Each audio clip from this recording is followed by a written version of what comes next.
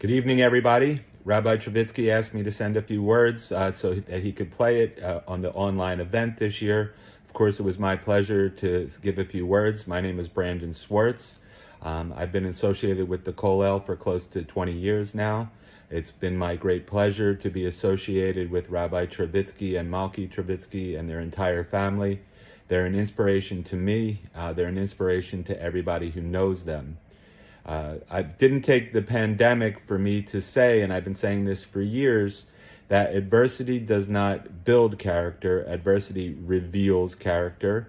Um, and I've always wanted to be around somebody like Rabbi Travitsky because of his level of character. And one of the bright sides of having a pandemic is you get to reveal somebody's character even more, and you can be inspired by somebody's character even more. I have no doubt that anybody who is associated with Rabbi Travitsky and Malki, who has uh, seen how they have handled uh, the uh, tragedy of the pandemic and the uh, obstacles that are presented by the pandemic, can see in a very real way the way that their character is revealed.